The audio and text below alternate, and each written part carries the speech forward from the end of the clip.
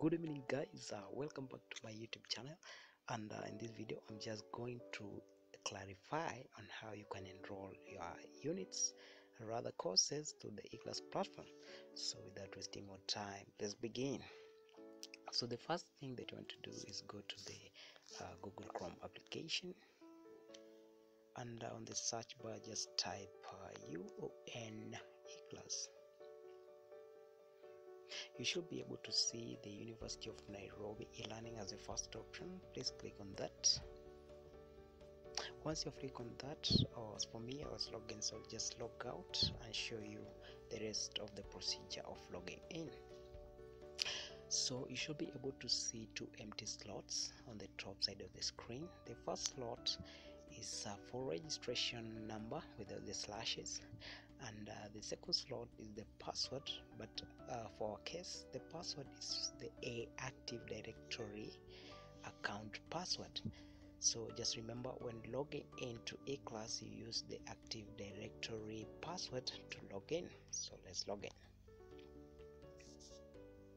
Once you log in you should be able to see the course overview. And if you scroll down further you should be able to see the navigation under navigation you should be able to see dashboard and under it the first option is site home. Please click on that. Once you have clicked on it let's scroll down again.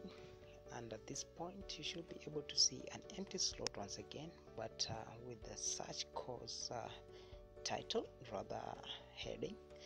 Uh, it is at this point that you want to type or search for the unit or course uh, the, the code of the course of the unit you want to enroll. So for our case you're doing that with SPH42 and click on go once you fill the details. So you should be able to see the name of the course or unit that you want to enroll and click on it at this point. Scroll down again and uh, at this point you should see the enroll me option uh, in a blue label so for case we are not going to uh, enroll because this was just a demo.